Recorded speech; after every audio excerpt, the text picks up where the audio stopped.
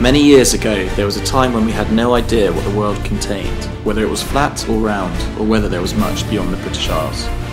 On their travels, they charted new coastlines, saw unbelievable sights, new species of flora and fauna, and experienced new and rich cultures. From Sir Francis Drake circumnavigating the world, to Sir John Hawkins opening up our eyes to beautiful species of animals in Western Africa, to Sir Walter Raleigh who discovered Guyana, they proved the world was full of wonderful things.